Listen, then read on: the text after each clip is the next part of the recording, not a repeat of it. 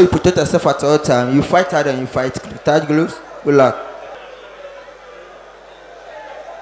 Ben Lamptey came into the ring at a weight of 128 pounds, the heavier of the two boxers in the ring.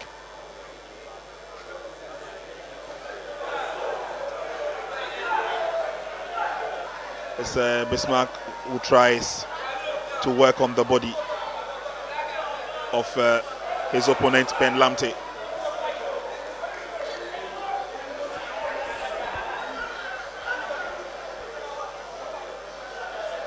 Referee Gate watches closely as the, these two boxers try and get into an engagement.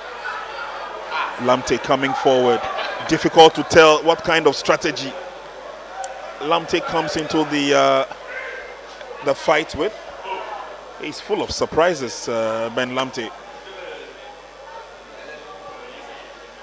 And again, Bismark really taking his time, trying to uh, get to know the opponent well, as it were, before he opens up. That's a wild throw there, but a slip in the process.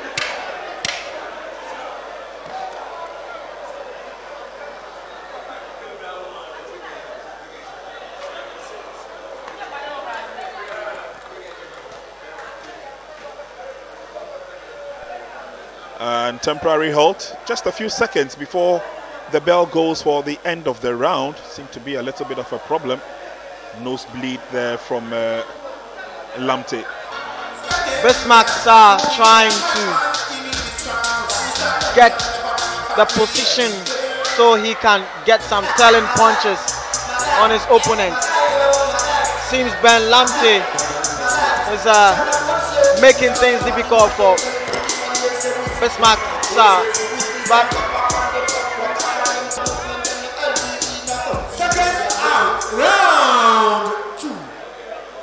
Yeah, we're ready for round two. The seconds will have to go out of the ring, and it's all over.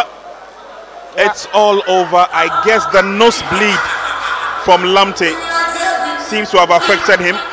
Signal came from the corner, and there you see him washing it off.